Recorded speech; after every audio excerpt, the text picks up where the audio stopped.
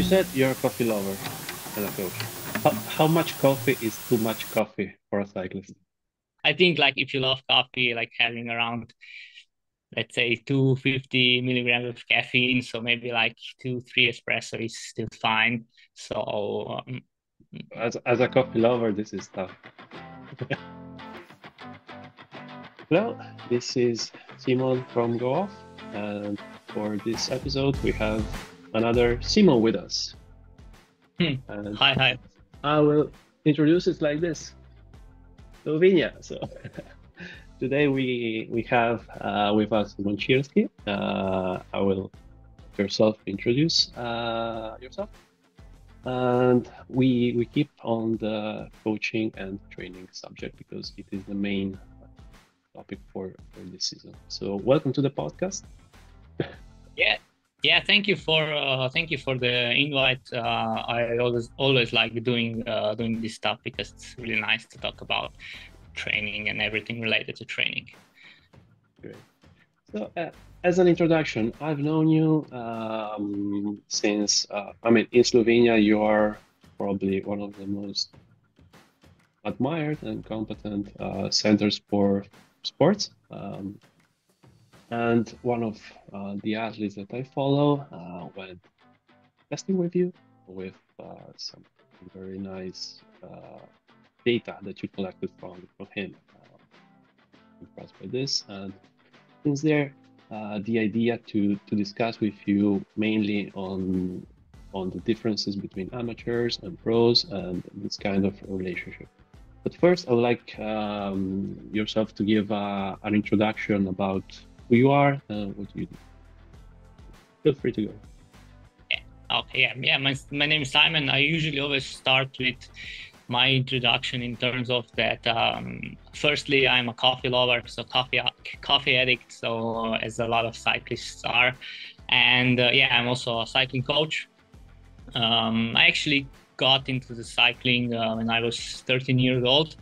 Um, I was playing a bit of volleyball uh, before that, and I had a bit of knee injury. After that, a doctor said, "Okay, maybe you can try like cycling and you see if you can still have like problems and yeah like from the first day i sat on the bike and it's it stuck with me so yeah i've been cycling uh, since that i started a bit of uh, racing when i was younger and then after uh, a while and the crash i had i decided to yeah stop uh, racing and um, yeah i slowly went uh, into coaching researching. I did a few courses about uh, sports science at the University of Kent, and uh, yeah, with that I started to like develop as a coach uh, with research. I started connecting with other coaches around the world, training, testing, uh, and yeah. Uh, this is where we are in 2020 we uh, I and Tim Podlogar uh, started a company that we have uh, in which we are doing a lot of uh, physiological testing. We also do quite a lot of research in terms of like nutrition, training, and stuff like that. We have some nice studies that we did on uh, carbohydrate intake. And yeah, now we are basically working with elite to, to recreational athletes, mostly in endurance sports, so cycling, some running. Um, we also have some nutritional support for um, other sports, but we're like mainly mainly focused on endurance sport, so cycling. And yeah, my goal now or my main uh, field now is uh, coaching and uh, laboratory testing for uh, for athletes. You said you're a coffee lover and a coach. How, how much coffee is too much coffee for a cyclist? How much coffee is too much coffee? Well, you can you could debate about that. Like it could be like three cups. I think like if you love coffee, like having around let's say 250 milligrams of caffeine, so maybe like two three espresso is still fine. So um, as as a coffee lover, this is tough yeah. you, you have to limit yourself. yeah, yeah, yeah. also, you said you you work with with Tim Podlogar, who is known to be one of the let's say hardest coaches when, when testing. Did, did were you involved in, in the testing or you took other Guinea pigs? oh yeah, no, he yeah, I did some testing myself. We did we do a, we did a lot of like when we started the the, the lab when we did uh, when we developed some testing protocols. Uh, Tim is yeah really known for developing like really hard protocols, exactly. also for the research. Um, but yeah, he was like a main guinea pig for for that, uh, and but yeah the protocols the last study that we did was quite hard. It was like three hours of like race simulation. And yeah and then after that we had some like performance tests. After three hours uh, you're basically empty and dead and then you have to do like a time trial in the end. So that was hard. I can imagine. Yeah. Good. Um but you said um, that I mean you train um, all levels of say cycling people, so from from amateurs to to pros. What do you think is uh, the main differences, or do you see what do you see big differences in, for example, I don't know, physiological differences, or are there more availability differences, or are there like commitment and motivational differences? What what do you think about like yeah there are definitely like differences between amateur and pro- pros. This is why we have uh, two categories. Um i'm gonna say that there are like differences in basically all areas that you uh that you um said that there are. So we have like differences on uh, physiological level, so maximal aerobic capacity fractional utilization of vo2 is usually like higher in highly trained or elite athletes. There are like a lot of physiological differences, but there are also psychological differences, commitment differences.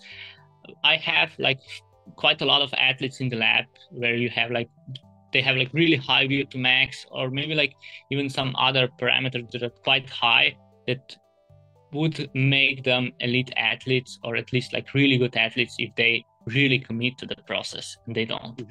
so yeah there is like a bunch of stuff that uh, it's it affects this is why just psych uh, physiological side yeah it's important but it's not everything so mm-hmm. because there is quite good data from um, a world, one world team that I'm not going to mention because uh, I don't have to be like too much specific, uh, say too much specific stuff about the, the data. But so we have a world tour uh, team that had training camp last year in Mallorca on, in March, and they did the, the testing. And like the average VO2 max for the whole team, if I like asked the guy, would probably he would probably say like 80 or 85. Those are pros but like the average for a whole team was like 71 the highest well, level. So yeah, well, yeah. High but not like the highest. So there are definitely not some other parameters that they are like really high in yeah. that population so they can like su- succeed in uh, in uh, in competition.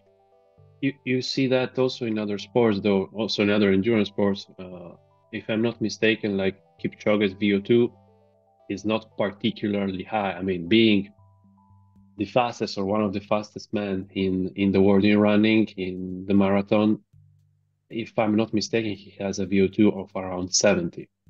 Yeah, I think it's something like that. I think the average for the two hours, you know, is two hour attempt on the Vienna. I think that the, the whole group also had like an average of around 69 or 70 but yeah, uh, if I'm not mistaken, Kipchoge had quite a good uh, running economy and really high fractional utilization of uh, VO2, so he could sustain really high VO2 for uh, quite some time. I think that it's like 39, 93% or 94% for basically two hours. Well, I would say something bold that the VO2 is not the limiting factor for going pro uh, do you agree with that or no? Because what I think is, it, there are some other metrics that um, probably are more relevant and more limiting that VO2. Uh, in itself. Yeah, I would, I would definitely agree that uh, like the high VO2 max, so not as high VO2 max, uh, could be enough to go into pros. I I would be like bold enough to say, yeah, if you want to win Tour de France, you have to have really high VO2 max. Okay. But yeah. to go pro, and this is probably also why we are like forgetting quite a lot of times that when we are developing athletes, we want them we want them to go into pro sports. They don't have to be the best because there are only few Tadej Pogacars.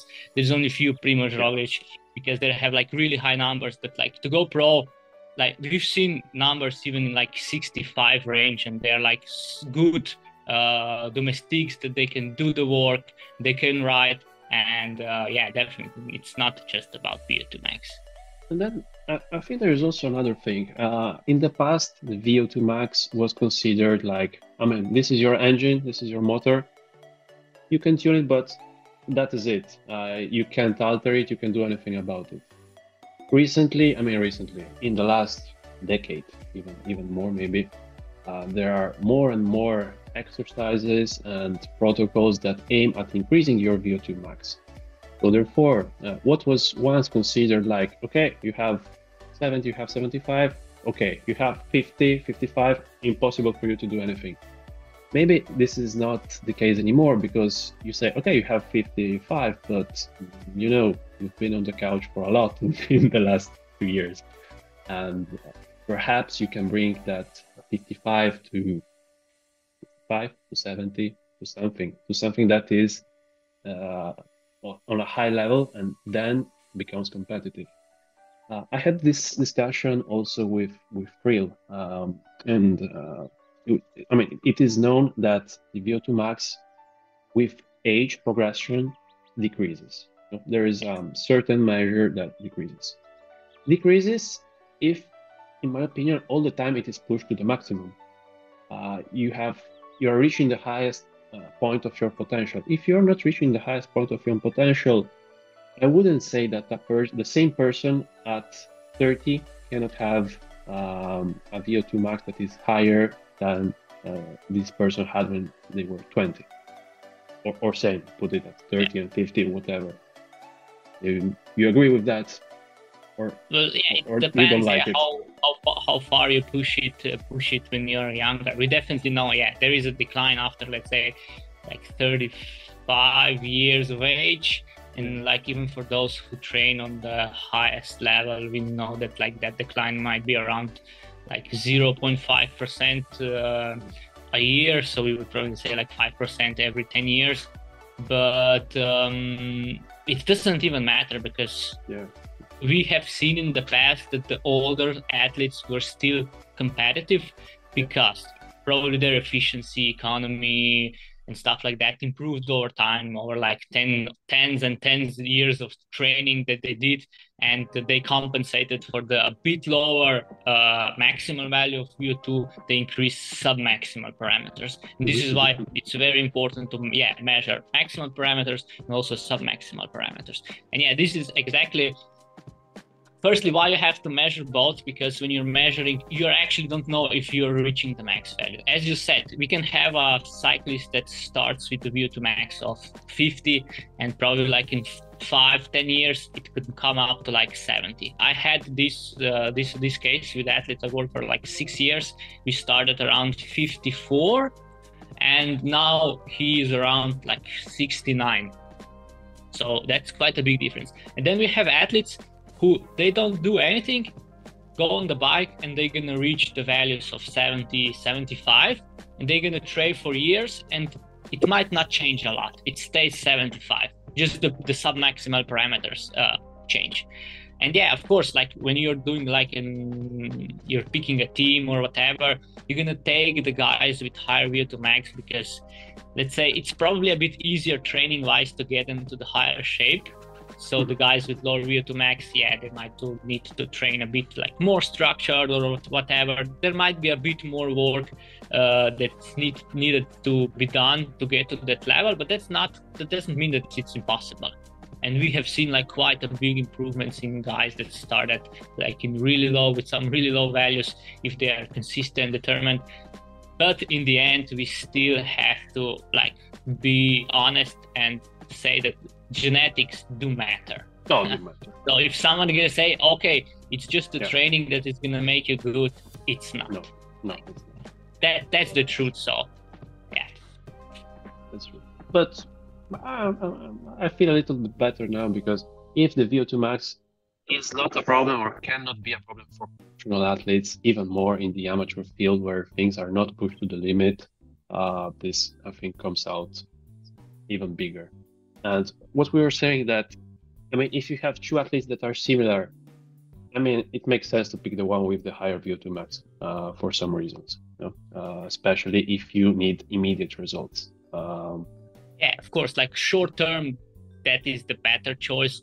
But like I would start to think about like long term, if that is the the case, Mm. because we also like in Okay. in some cases, especially with younger athletes, like what I do notice is is the guys that like have like really high VO2 max and they like improve quite quickly. A lot of times they let's say they don't have as good uh, work ethic as the guys that like maybe struggle a bit and they have to like put in real a really good uh, amount of work to get there and like over time you want to have like a hardworking guy who knows what has to be done to to to be among among the the fastest. So do you, do you think that uh, the characteristics like work ethic or let's say consistency in training is something that is on par with physiological um, I mean prerequisites to become a very good athlete or even a professional? Or do you think what, what do you think is the most important uh, let's say aspect that brings your performance to the maximum? Is it physiological so innate uh, values that you have and you gradually reach them? Or is it your commitment your time availability um, your your nutrition your training your amount of hours that you put in in high intensity? Yeah this is this is this is really really good and tricky question because if i'm gonna say yeah work ethics is really important somebody is gonna start saying yeah but the the, the genetic potential is really important. Like both things are important. If it's like 40 60 is it 50 50 is it 70 30 i don't know. But we know that if you have one and you have the other at least like in like in quality terms that you do the both so you are you have like a work ethic you're consistent uh, and you have solid genetic potential you are probably gonna reach really high high levels. And this is what we see within the best amateur athletes we see which are on really high level. We see a thresholds of like 5.5 watts per kilo which is quite high. And those are like at like amateurs training maybe like 12 15 hours and we know that pros are trained like even 20 25 in some like training blocks even 30 hours or more so yeah like commitment and commitment to training how how much work you put in is definitely a big factor Mhm. Yeah, I, I agree on this, and uh, and also um, I think that there is a certain time period when things can uh, can improve. Uh, do you see uh, that, say, uh, an amateur has a limited time frame, or for various reasons, um, maybe because also of commitment, because then it changes interest into something else. So do you think it has a time frame in which can develop his performance to a limit or do you think this can be done indefinitely through his life because what i think here is that a person that starts cycling and cycles really committed usually mm, can last around 10 years of fully committing physically and mentally to the sport after that mm, i see that mm, the motivation changes uh, other things come uh, in his mind. Sometimes he changes sports. Sometimes he has, you know, a son. Sometimes he, he has an injury. So therefore, I see a time limit. Do you think there is, or do you think there is not? yeah like of, of course it is like sports is also not just like physically challenging and also mentally and for everything to if you want to perform and like really develop everything must must work like you have to have a good environment where you can like develop and improve and yeah once like one side starts to slacking so motivation you start maybe skipping sessions um, then like over time it's probably harder to improve. And then you like come to the to to the let's say the limit that you had at that time. And uh, yeah usually after that the performance starts to incline. Uh, like probably we all have some theoretical limit that we have. Uh, the more time you spend doing something the better you will get. Uh, this is why it's probably good to start early.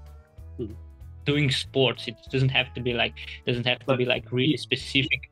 Yeah. You mean by annual volumes or in general weekly weekly volumes on how time how much time you spend on a bike? I mean do you mean like 600 800 700 years uh, hours per per year? Or do you mean i mean every single week that i want to target 16 hours precisely during a season? Is this considered like over a, a span of various years or is it considered during a span of a single year on how much do i put in a yeah, no, you have schedule. to like in endurance, in endurance sport. You always have to look in in years.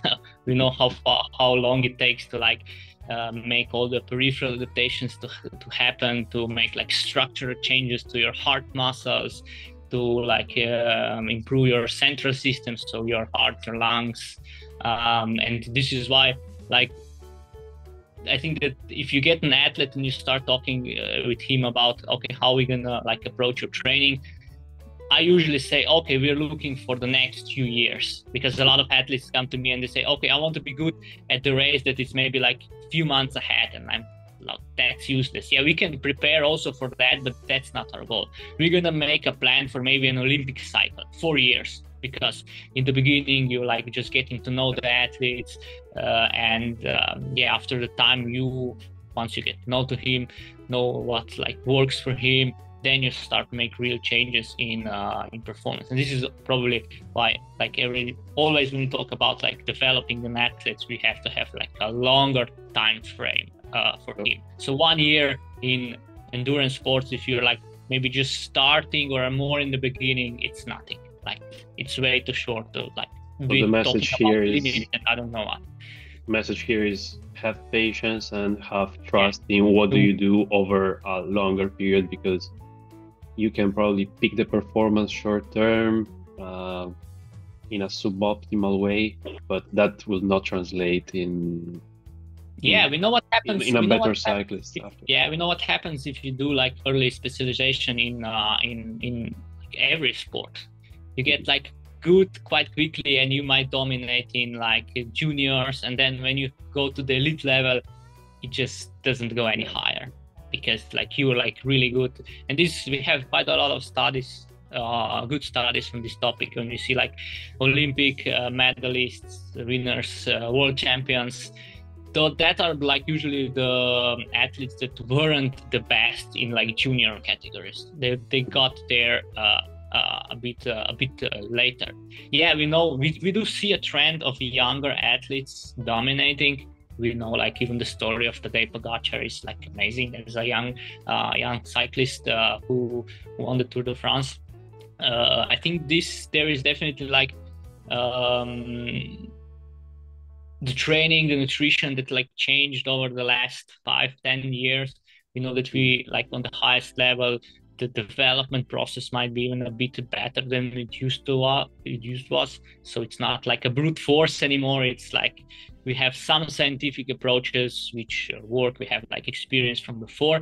And this might help in like athletes become better a bit earlier and then also like sustain over over longer period of time. But yeah in general like the best athletes are not the ones that uh, are the best in juniors categories because a lot of time those athletes are like sick of their sport when they're like 20 we see exactly. that a lot this this is a problem probably also uh, with amateur cyclists uh, because what I see with with the people I work with is that a person starts training with maximum enthusiasm. Um, so the availability and the enthusiasm for it is sky high, and probably as a coach, you could also give him, you know, from start, first year that he starts cycling 15, 20, 25 hours per week. Yeah. This ends in a disaster sometimes.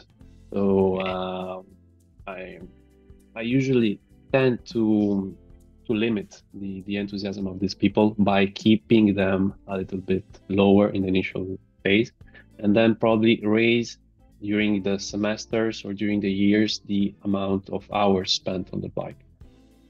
You like this or do you you say yeah, of I mean, course. if you can like, do 20 you do have 20 to you need progression.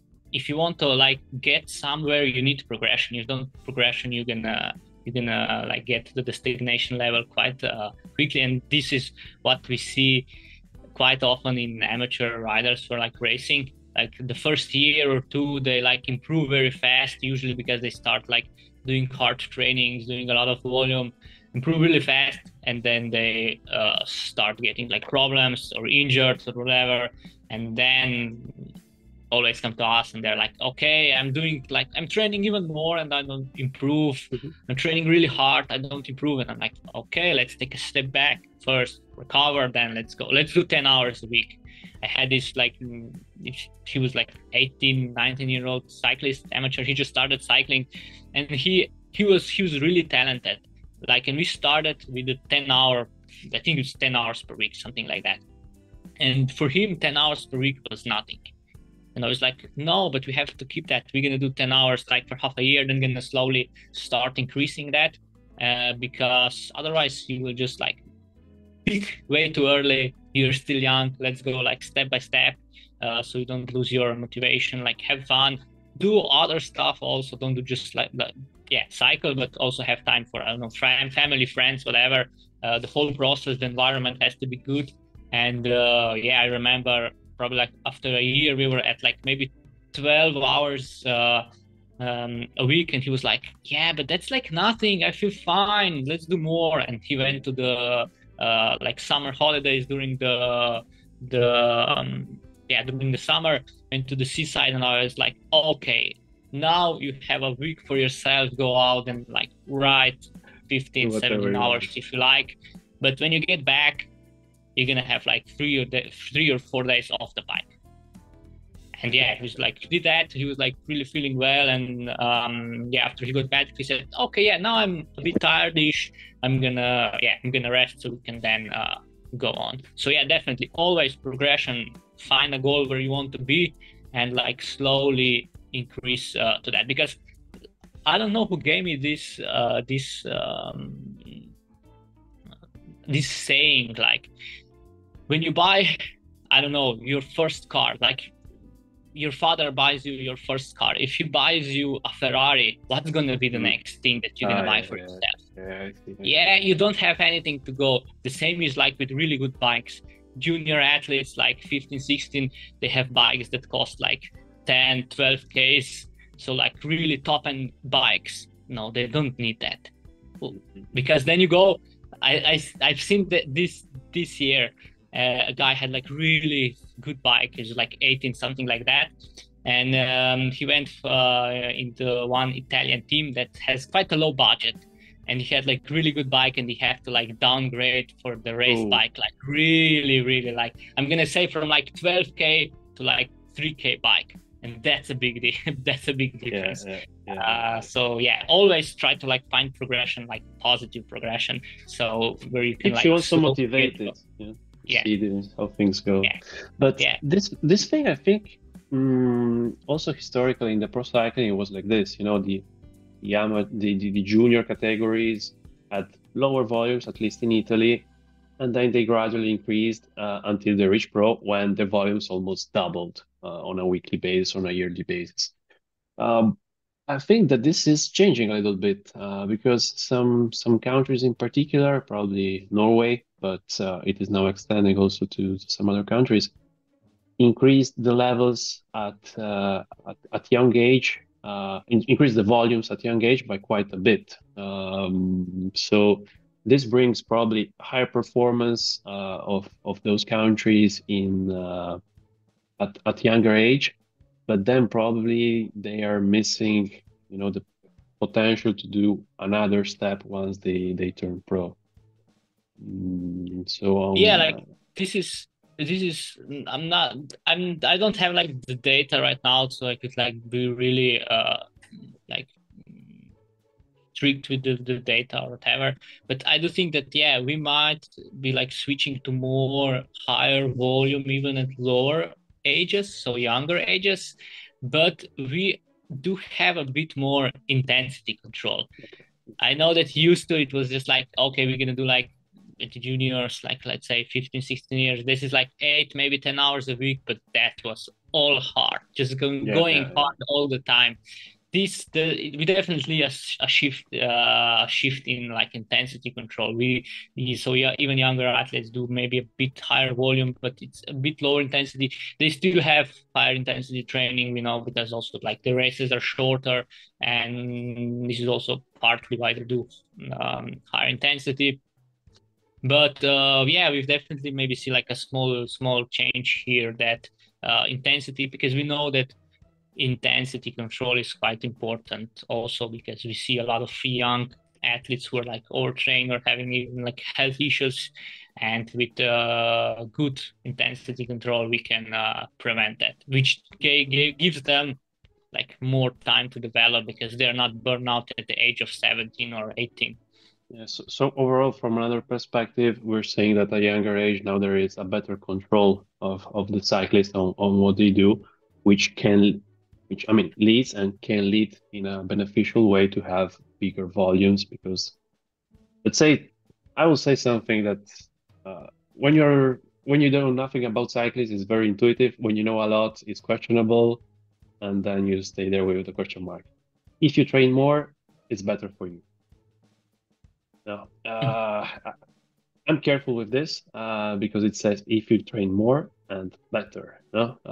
It makes a big difference. So it means probably it can imply training less at certain volumes, at certain sorry intensities, uh, but controlling uh, what do you do in a in a better way can can lead to very big big differences yeah. I think this this is where where we're going it's quite important how how we are phrasing things because we right. know that in general higher vo- volume of training can lead to better performance. That is like clear as day. But, but, but it's really important how it's done. it, conceptually it, it is easier. You train less you go slower. You train more you go faster. You say yeah. No? but yeah and but there are points where you have to like start thinking about how you're training yeah, and there is a point where you have to start uh, thinking about how how quality the training is because at some point it's not the biggest amount of training that you can do but the least amount of training that you need to adapt to and become mm-hmm. better and we should mm-hmm. train for adaptation we shouldn't train for hours or tss or whatever we should train to like produce adaptations so th- this means that if higher hours uh, let's say, make your adaptation slower uh, for some reason, which might be muscle damage or something, this can backfire you. So uh, the, the optimal spot of, of hours also for, for all levels is, is not fixed. Uh, some person can have 25 hours as optimal hours. Some, let's say, some professionals, some other can have 20, 22, some other can have 18, some other one, I don't know, double can have 30, whatever. Um, instead for a person that is an amateur, perhaps for someone who has external stressors like work, uh, kids, wife, a different hobby, beers, probably the optimal amount can be 10 hours. And if he tries to push that to 14 hours, his life collapses. Uh, having his life collapsing means that also the performance on the bike, for various reasons, is not gonna increase. Yeah, like but, I think that the optimal training volume for amateur riders is the training volume that can allow you to be consistent over a longer period of time. If that is 10 hours and you're not pushing to 12 because you're not sure and you have time to spend with your family or if you're going to get sick, then stick to 10 hours do it for another year and you're gonna see a change. So don't push it too much if you are like if you know that something is gonna go wrong if you push it a bit too hard. Yeah, I completely agree on this. And what what do you do you see between the people that you train is the general time availability? So I will, I will make an introduction here. We are talking about athletes that are prepared enough uh, or you know they they like cycling enough to go to a coach which is yeah. i would say above the average cyclist already so an above the average cyclist what time availability do you see uh, let's say you see probably i don't know 30% of these people are between six and eight hours and then 50% are between 8 and 12 hours and then there is think 20% yeah. the remaining that is above 12 hours or more or less. How do you see that? Yeah. Uh, I, I would say that like 50% of most like athletes that like come also to, to to us and like start training are mostly somewhere between 9 and 12 hours. This is like a switch this is something that is doable for uh, like, like 50 if not even like a bit higher percentage. Um, i would say like 20% of athletes are the one that we like or we like to call time crunched. So those are that we say like five six seven maybe eight hours a week. This is also when we start to like shift to lower frequency training maybe just like three to four sessions a week depending on their time availability. And like the rest let's say 20 to maybe 25 percent are the ones who are like more into like higher performance stuff or like really racing this is usually like above 12 hours. So between like let's say 12 and we even see to like 17 18 hours a week in some amateurs. But like 12 to 15 hour would be like for a good uh, amateur uh, competitive rider uh, and most of these hours done on a bike, if not all. Yeah, it's mostly like there is some exception in the winter, especially in our part because we have like, quite harsh winter. We have snow, uh, low temperatures, and oh, what what? Watopia is always at 20 degrees. You know, between 16 and 20 yeah. Uh, so yeah like here some athletes like to do a bit of cross training over the winter. So we have like um, hiking uh, cross country skiing and stuff like that which is which is all good also from like mental part. So you're not like staying on the bike all year round.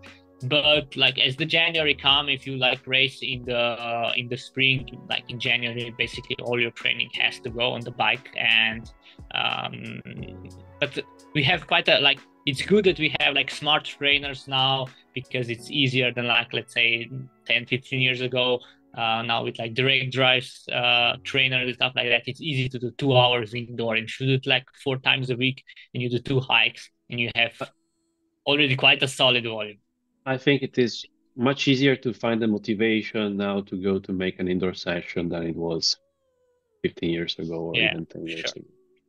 Yeah i'll definitely say. But then it's like I know athletes who did like 15 hours indoor like 10 years ago and they didn't have like smart yeah, yeah. smart stuff. Yeah, and this is then this is the the mental the mental commi- commitment. I like even if you take like for example team uh, Tim Podlogar like 95% of his cycling is indoor he has like great performance outside for an uh, amateur so that like, critical power of 5.4 watts per kilo it's quite good so um, but most of his rides are indoor and for him like it's not a problem he does it uh, six seven hundred oh. hours in the indoor during the even during the summer like indoor it's fine for him i remember i, I had an episode with uh, with a girl that i coached uh, it was fun you know uh, between my the people i have during the week, most of the people were in, in Watopia or on Tacx or somewhere, and I saw these these graphs going on the map around, and it was fun. Then I saw this training of three hours and a half, and the GPS graph was flat. I called her because it was, you know, there's something not working on, on the GPS track, and you can you fix it? No, no, it's working. But you did, you were not on Zwift. Oh no, I didn't go on Zwift. I was, I was, I was trainer and I was watching the wall. what do you mean? I was watching the wall. Oh yeah, I didn't like movies. I was just staring forward. yeah, like, like okay. some some athletes okay. have have the mental capacity to do that. Like for me, the winter is always like the hardest because I really hate the trainer. I'm gonna do like hour, hour and a half. Uh, I'm gonna do maybe some treadmill running, Uh, but uh, yeah, like every year, there's definitely a week or two of Canary Islands, so we can go out Oh, in the sun amazing.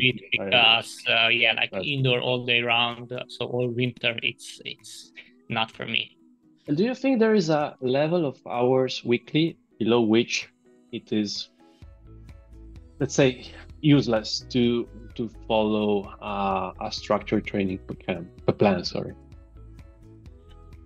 Uh, yeah, if you talk like in about optimizing performance, definitely yes. Uh, like there are some cyclists who maybe have like three, four hours available for training, and we also do like a structure for them uh, because yeah, we, they can still improve, but like it's not just about performance. It's just about structuring their week mostly Yeah. but uh, yeah like i would say that if you really like want to at least get something out of it. Like the minimum would be if you're like starting at the starting point so not really trained like eight hours uh, eight hours would be like a goal to like start with. And yeah like once you get trained you know that if you're like quite well trained eight hours is going to be probably be detraining for you. Then you have Yeah. to up that. Uh, but yeah like if you're starting probably like eight hours is something we can do quite a lot of uh, a lot of good stuff with. I tend to agree. Um, I think that from my, from my perspective, if you are below six hours, you know you don't really need a coach. Uh, find um, probably you can find some some workouts. Uh, you, you you can find plenty, and probably the coach doesn't make a big difference because he has very narrow room to play with. And if your availability is twice a week plus a, a ride of two three hours in the weekend you know there is a limited amount of things you can do especially in the, if in those two three hours you want to stay with friends so Yeah, at like, that of course, point Yeah, at this volume you have to start thinking: is it about performance or like having fun on the bike? Do you go on the bike because you have fun? Yes. Then try to keep keep that up. Like be keep active. having keep having yeah fun yeah and that's going to be good like you can still have a coach if you really want want it because he can still help you a bit in maybe like help you not overdo it if you have like a maybe really stressful lifestyle yeah no, it no. can also help you like motivate you uh but yeah like it's not about it's definitely not about optimizing performance itself the performance is not the first goal uh Mhm. but yeah if you have like not that much time available try to have fun on the bike and not like overthink stuff agree, agree. Instead, on people that don't train, let's say, structurally, uh, in a structured way or consistently, I generally found that uh, even if you look at Strava times of in, in general on, on a climb, that there is, I think, a, quite a big limit on the around 3.8 watts per kilo, 3.8, 4, 3.6, 4.1 something. Do you see this limit too or do you think it just it is mm, it comes from different reasons? Uh, i think that this is the limit that um, people have that there is a limit. There is a limit that people rush into when they don't do uh, in a prolonged way like a couple of years. Uh, a training plan that is structured and follow with some goals in mind. What do you think about this? yeah that's a good question. I would say that this problem i do see i do see like the range of like 3.5 to 4 watts per kilo that is like we see a lot of cyclists here. It doesn't matter if they train like long like for a long time or they maybe just started but i think that this is partly because of statistic it's, itself. Like the majority if you, you look at the bell curve and you have like normal distribution this is where you're going to see uh Mhm. is going to see most of the cyclists. And then when you go like deeper you're going to see why is that? Yeah this is usually the time availability that they have. This is probably like in range of seven to ten hours. And the volume if it's that's like really structured and you don't like follow a training plan with that volume this is probably the range that you would probably get if you have like let's say normal genetics that you are not likely the big the big uh, the big potential uh, and yeah if you want to have like more uh, then you would have to like probably have a more structured training. Nutrition comes in uh, into into play. I would say like once you're able to push four watts per kilo for like 25 30 minutes this is where nutrition starts to play a big role uh, really big because being constantly under fueling um, is quite a big problem we see all the time. Yeah like athletes are starting to get like higher intake on the bike but that's not enough. Uh, mm-hmm. and yeah nutrition plays a big role. Um, commitment time availability i think those are like the three things that uh, have the biggest effect here. And this that is the difference then between those who are like sticking around 3.5 4ish and those who go above that. Yeah probably in the 3.5 area you have the people that train quite a bit but have limited potential and you have the people that have a very high potential but they are lazy. So more or less yeah. they tend to to go in the middle of the bell curve and yeah. to, to go outside of it yeah there must be there must be there is normally some other push that brings you out of there yeah like i have the, i have the statistics from all the tests that we did in our lab mm-hmm. um, and that's probably like 300 400 tests in the last two three years um, the average power for let's say second lactate threshold or let's say critical power whatever you took is around 3.6 3.7 watts per kilo for men mm-hmm. so it gives you like an idea what an average cyclist is capable. We have like those are like an, really an average cyclist that goes into your lab. So I, yeah, I would say again average above the average cyclist because yeah but like we have quite a good we have quite a good distribution we have quite okay. a lot of cyclists who uh, basically are not training or just bought a bike and came to okay. the lab. We have quite a nor- quite a good distrib- normal dis- distribution, so it gives us quite a nice representation of like let's say, and when we say average cyclist, we say someone who like trains four to five times a week, maybe like hour and a half a day, in the range of like seven to nine hours, maybe eight to 10 hours. This is something what I would say an average. But what is interesting, like compared to like some sub-maximal parameters, we see that their VO2 max, so average VO2 max for an average cyclist is quite high. And this give us, gives us quite a nice. Um, because it's Slovenia. yeah, because it's Slovenia. We don't have high VO2 max. No, but it gives us like quite good insight in um, in physio- physiology in terms of VO2 max. We see like everybody who is struggling a bit with performance does VO2 max intervals. And like most of the time, VO2 max is not a limiting factor. so we have to change some other stuff, approach the training a bit differently. So yeah. And what do you see? I mean, you said you, you measure a lot of data, and I mean, the, the population is quite nicely distributed. From from what we spoke also before, uh, from, from what I see in Italy, probably the people that tend to go to coaches and do testing is a little bit more biased to, towards advanced cyclists. It might be a cultural difference between Slovenia yeah. and, and Italy, so I I think that that might be the cause. But what do you think is, uh, let's say, the the most relevant metric that you want to see in in people and you want to track in people because now we have let's say a lot of metrics we have metrics about whatever you want if you if you really want uh, yeah. your core temperature you know yeah. uh, can be useful can be questionable you, yeah. so uh, if if you want to monitor regularly what would be indispensable for you so the easiest thing, well, the easiest thing, like one thing I would go was probably would probably be um, the parameters we get from lactate profile. So first lactate threshold, second lactate threshold, which give us let's say the basis for all the training that we do, and this is like individualized training zones, and then we can track over time how we uh, how we progress. This is like also the basis what we measure in lab or when we do the tests on uh, terrain. Then we have like other parameters that are like quite interesting for us that are uh, some are sub-maximal, some are maximal. So we have the efficiency, so how efficiently we are uh, using um, energy. So how uh, what percentage of used energy goes into power, what goes into heat. Uh, then we have uh, economy, we have VO2 max, then we have like fractional utilization of VO2.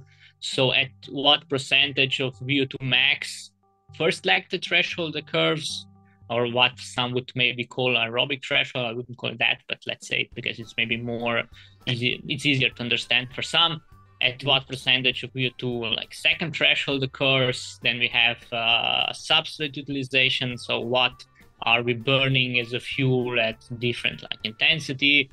These are like some interesting data that can be used to track how someone is developing. But like the basis would be first lactate threshold, second lactate threshold for those who don't have the availability to like visit the lab to test that critical power. So let's say our threshold, second threshold, um, is a nice functional test. It has great validity. It's really useful and can be used to like determine also the training zones. Uh, can also be like really good uh, parameter to to have. I agree on the lactate threshold, but under uh, a premise. How often do you do you test it? Because if you make uh, let's say, uh, a lactate profile, after a certain training block, you have to retest it. No? Uh, so how, how often do you test uh, to to be able to use these metrics? I, I would say a little bit more um, to see the development of your threshold. Uh, let's say critical power. You are able probably to do it without a test. So uh, if you're going on a climb regularly. You know that climb, you see your times that you are doing with the same, let's say, effort. You have a feeling of on how to um, also on yourself increase or decrease the critical power. On the lactate, probably it's very difficult to have this uh, sensibility, sensitivity, because people don't have familiarity with it. So for you to be able to utilize the lactate information, which is very useful, how often do you require people to test it?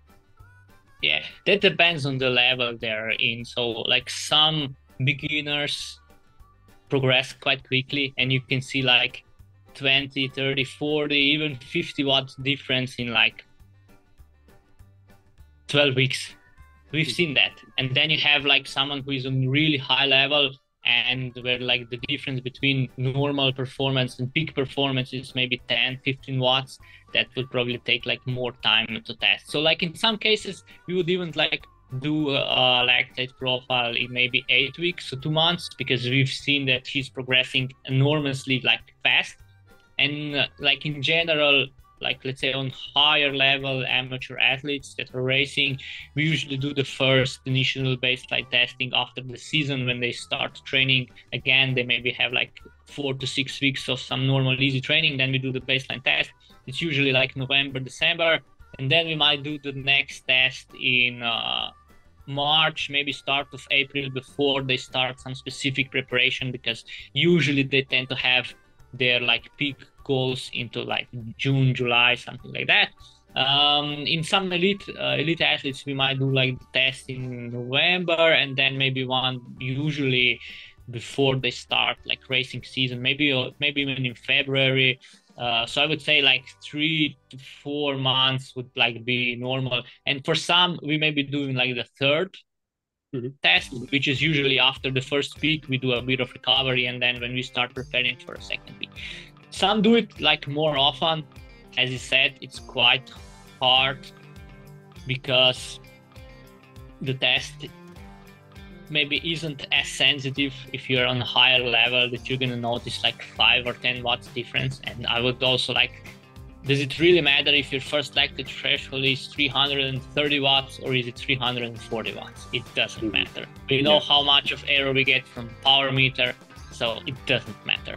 Uh, so yeah, some do like really regular lactate testing. It's like questionable. The use of that is like questionable.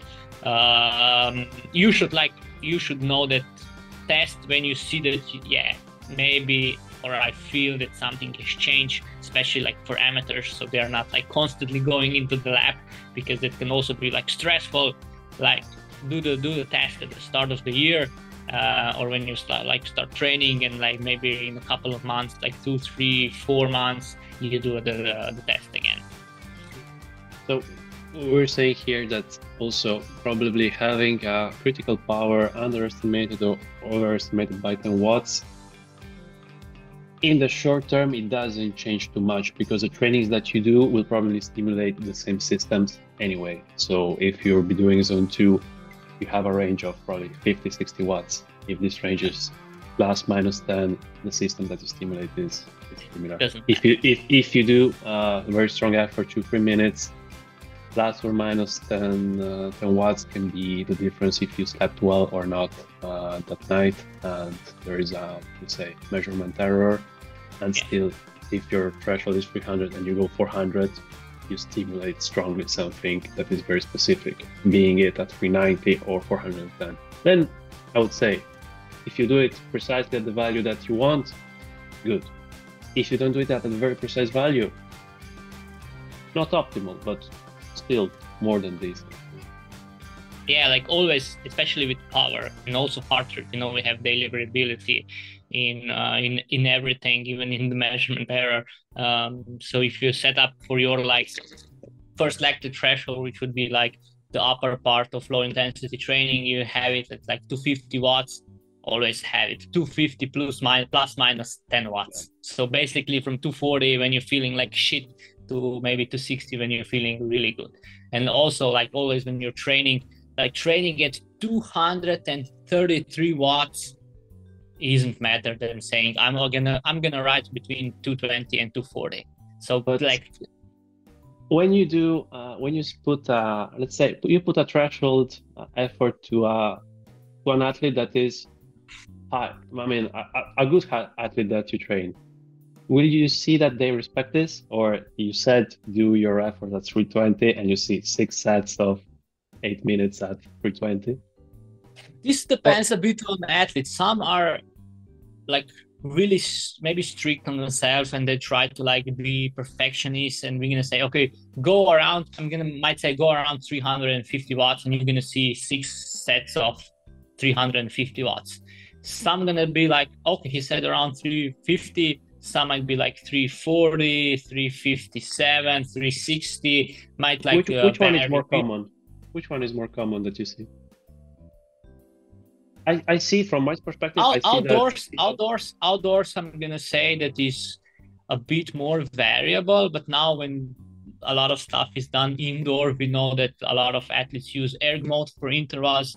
You have like they set it for a specific like what wattage and they just do they just do that and don't change anything.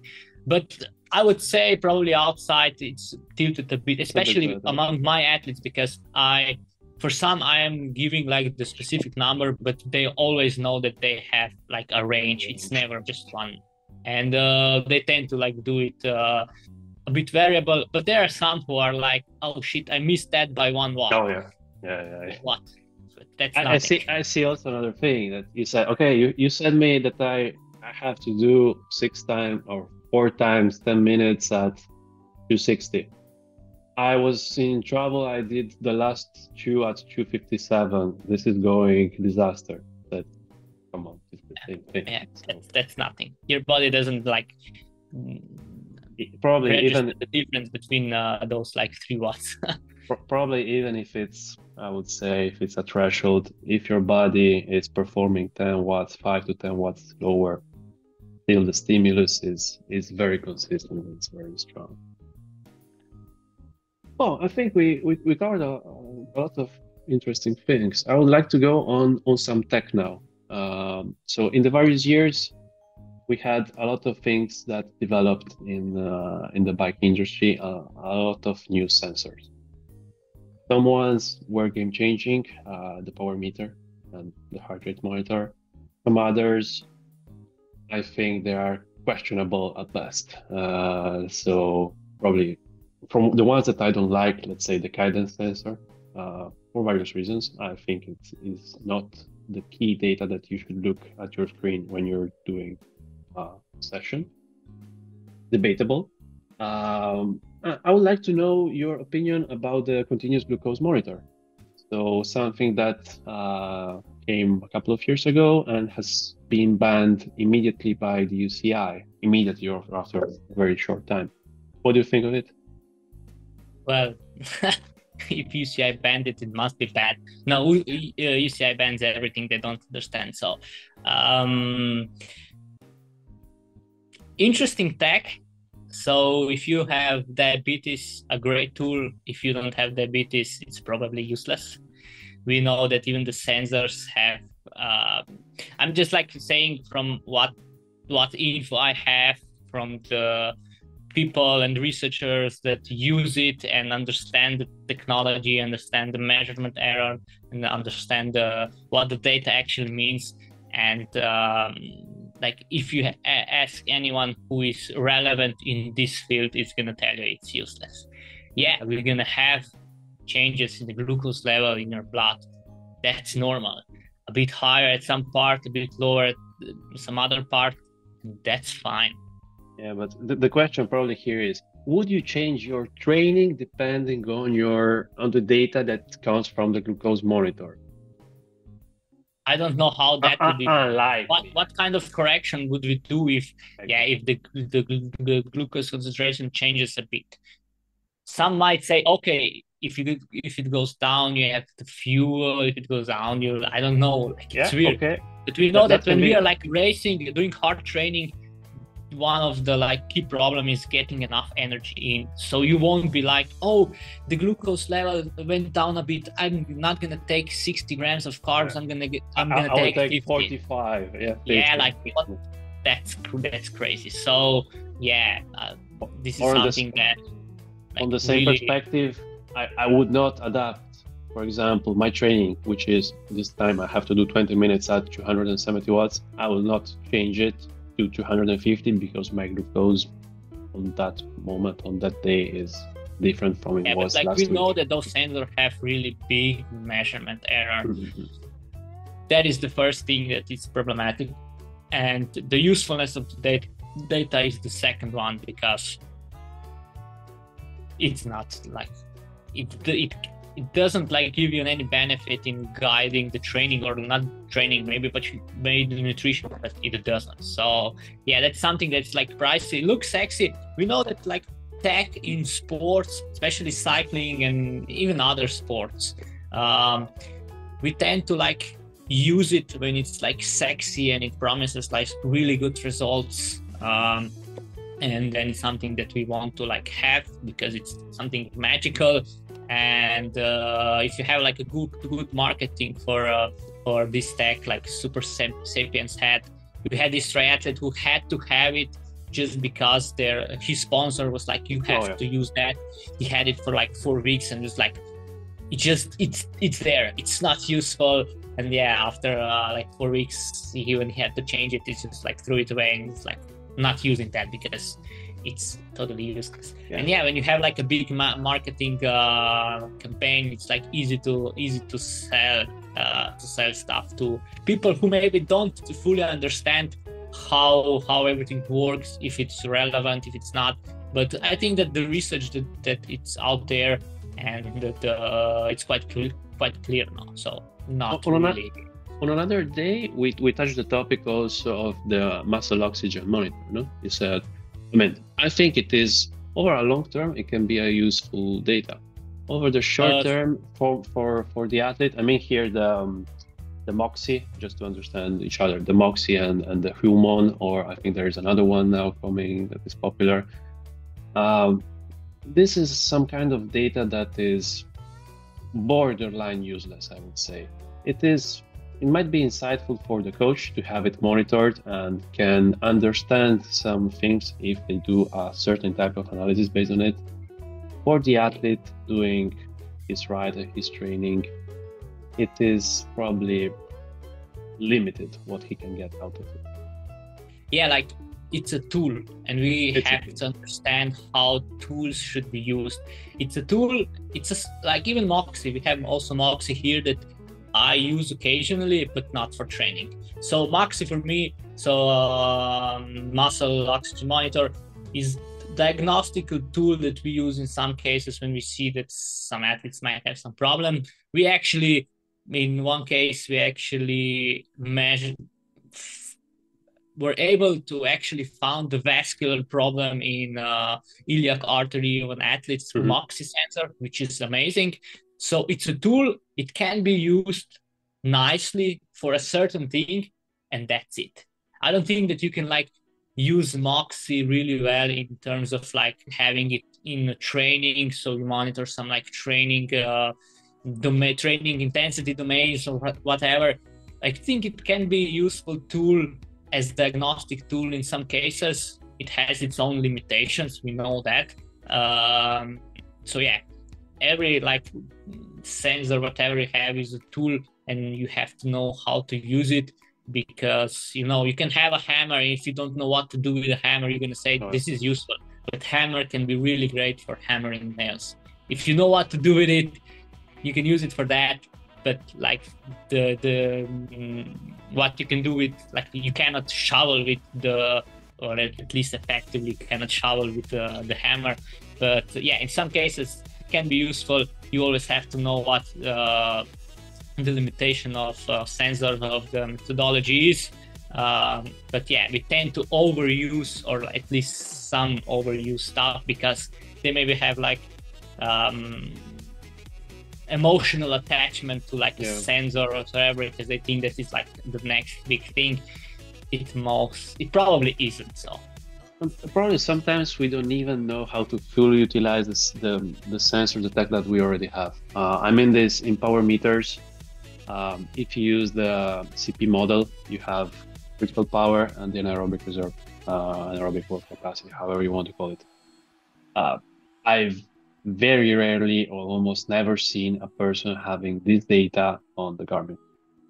So this is is something that on higher intensity or in, in how do you manage a race if the race has certain characteristics. So very, uh, it has some intervals that are probably between five and 15 minutes is where the the exercise above threshold comes into hand and have a logic especially if the person is not competing for the first five or ten spots those can probably handle his his pace based on this information or also during training uh, it's some piece of information that can be used to keep yourself in a state where the depletion of the uh, anaerobic reserve is controlled. People have this information and I've never seen them fully use it to their full potential in an instrument that they think they know perfectly, so the, the power meter. Yeah, because was... power, power meter is just for watts and that's it. And yeah, as you said, like W prime and then dynamically working with W prime. So how much you're expanding it, how much it recovers uh, between some uh, uh, harder uh, bouts.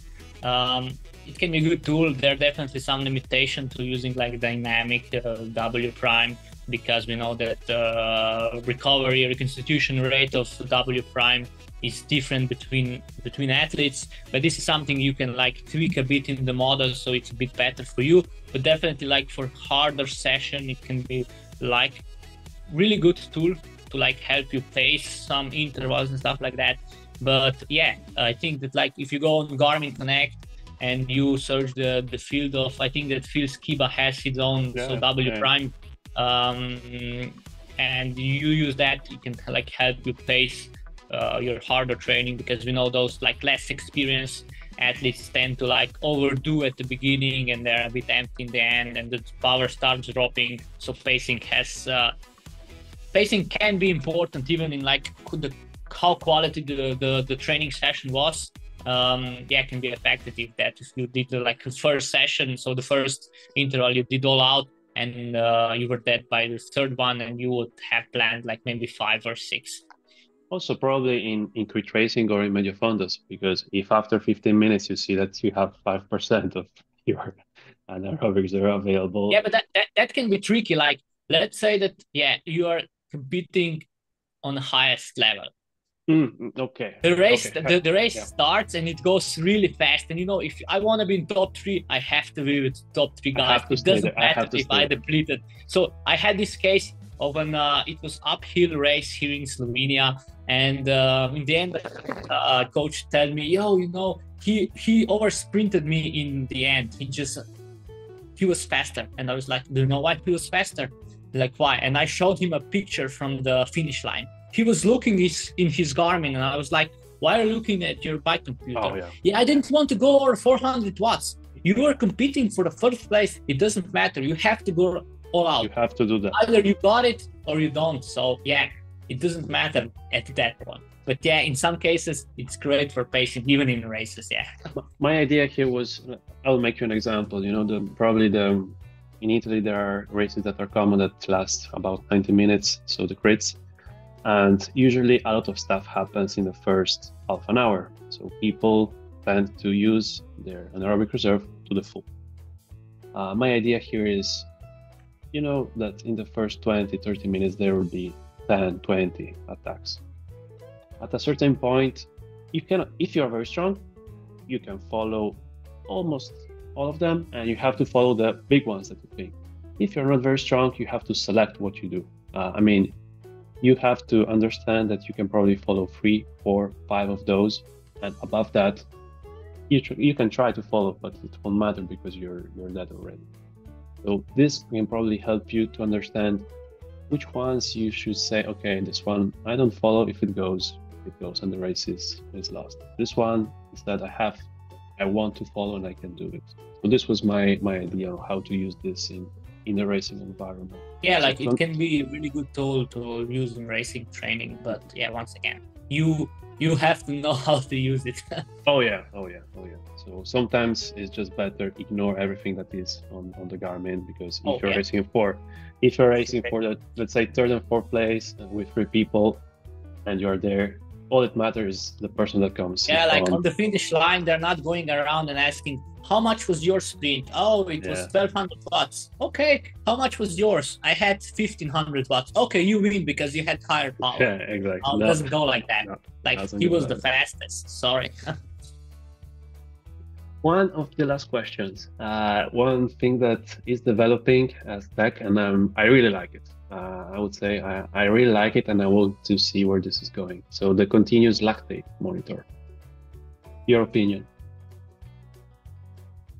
I don't actually have an opinion yet because I'm always like at the new tech, I'm always questionable. It's like the quality of the data and then it's the usefulness of the data. We know that like okay, this is continuous, but know that we have like partially continuous measurement in terms of like Mhm. some spot lactate check during the, the the training when we do like maybe steady state zone one, zone two, and we check la- lactate in between, or maybe when we do an interval and we check lactate at, at the end. We have a lot of limitations there, and then it comes the same. We're gonna still have the same limitations. We're just gonna measure it like constantly. So Yeah. I think that it might be good. We're gonna see when the tech comes out how it works. Um, the data might be interesting, but right now uh, it wouldn't be fair for me to have like a op- opinion rather than a bit of skepticism because I don't know how it's gonna play out.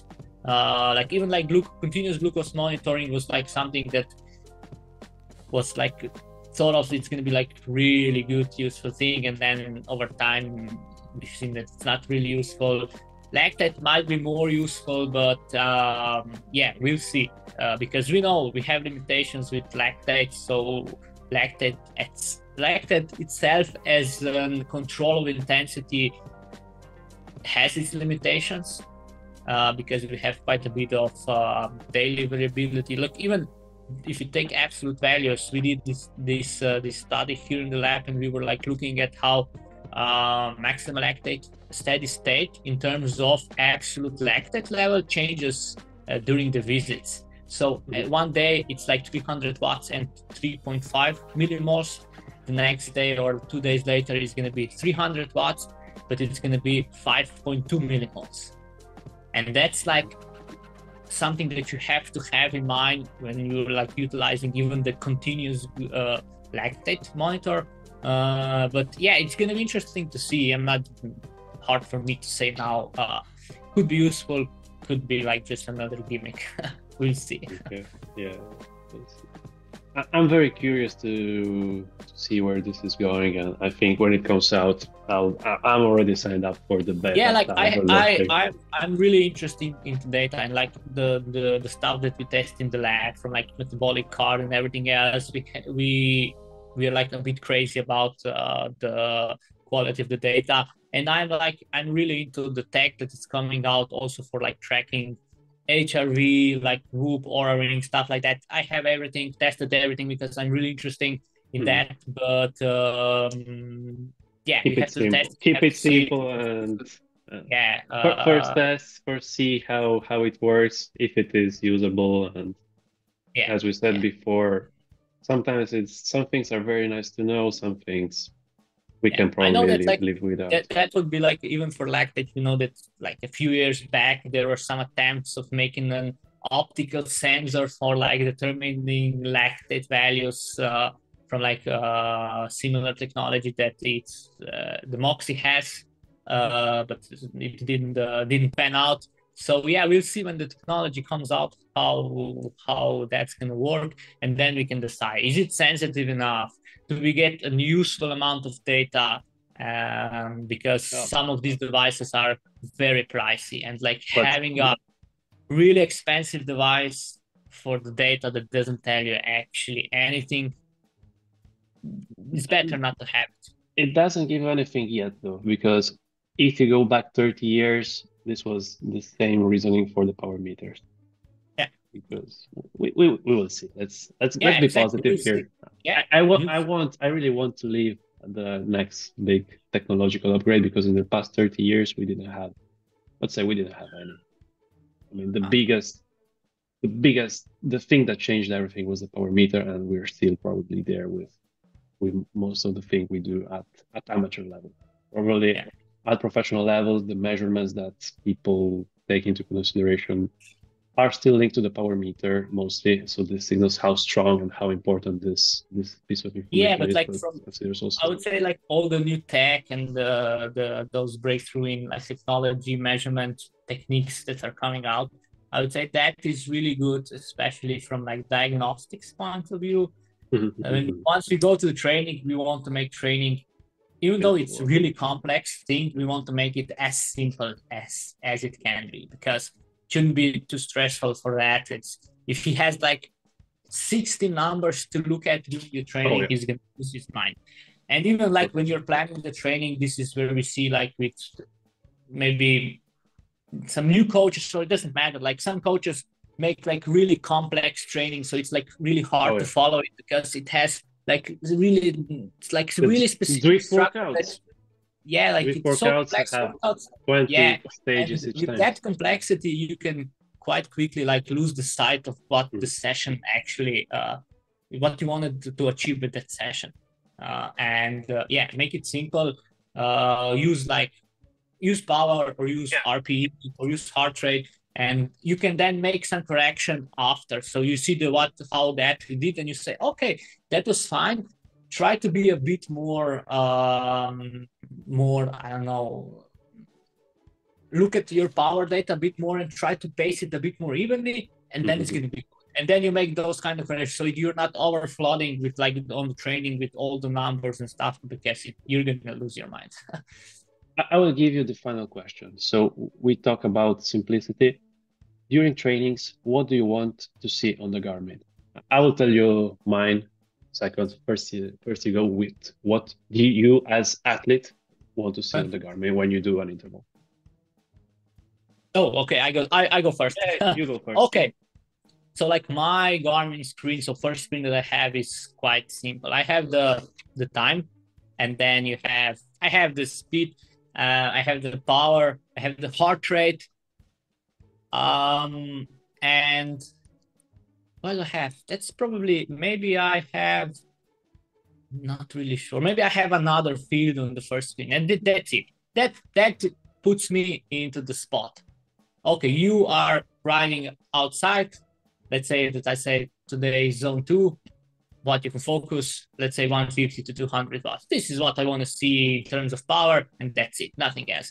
If I do intervals, I have like another screen that have maybe statistics for intervals. So average power for interval, um, maybe uh, average VAM, so how far, how fast I was climbing, maybe some averages for that. But in general, my screen is quite like boring. it doesn't have any charts or whatever, timing zones, blah blah blah, uh, because yeah, it's the basic stuff. It's time. It's the intensity that you have, either it's heart rate or or um, or uh, power, and that's it. Yeah, you can have cadence, you can have that, but like I like to keep it simple. Uh, I I will tell you mine now. So I mainly have two screens. The first one is very similar to yours. It says watts at this moment. It says kilometers done, time spent. And one of the key metrics is what time of the day is it? Because if I have to be back for lunch, I have to be back for lunch. So I really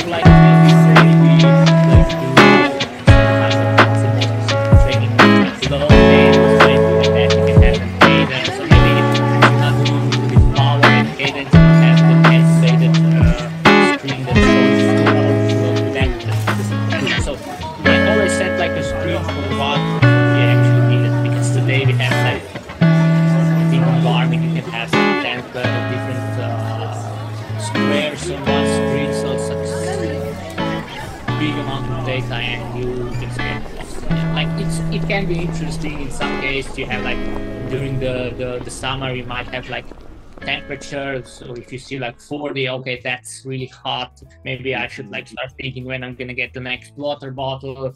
Then like in some cases there also might have like um kilojoules so work done or maybe in calories doesn't matter. So if you maybe set because some athletes like or even some coaches i've seen set the the uh, so lower intensity training they set by the certain amount of work they want to achieve. Mm-hmm. uh, i've seen that maybe more in triathlon.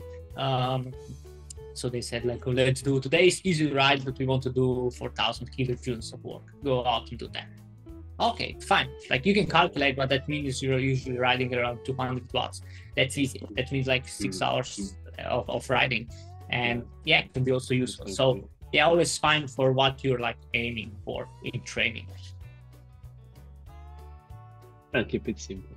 Great. Yeah. Simon, many, many thanks for for this. I mean, I think we covered really a lot of topics. Uh, we went quite in depth on, on some, and we, we said what, what we like, what we don't like. And I think it was overall very nice to to see the the things from from your perspective, uh, from Slovenia perspective. so yes. more, more balance in the curve uh, compared to Italy. Um, well, it's interesting. Higher, like higher I, I have a I have a few athletes. I have a few cyclists from Italy that are also racing there. Uh, but I'm gonna say there like some similarity between like coaching philosophies, but there are like there are some also some some differences in uh, in coaching styles uh, there and maybe here so always interesting to see.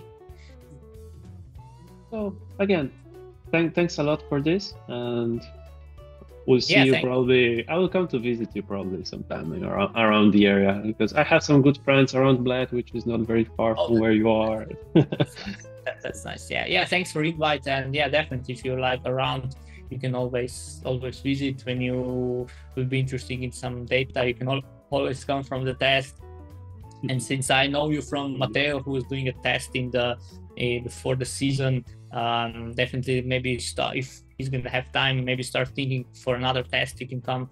Uh, we can do another test to see how because I've I've seen that he progressed quite nicely. So definitely we can visit so we can uh, compare how how he improved and uh, because the season is going to start quite soon. So uh, they oh, are at, we will see. I think they are at they are on the training camp right now, right?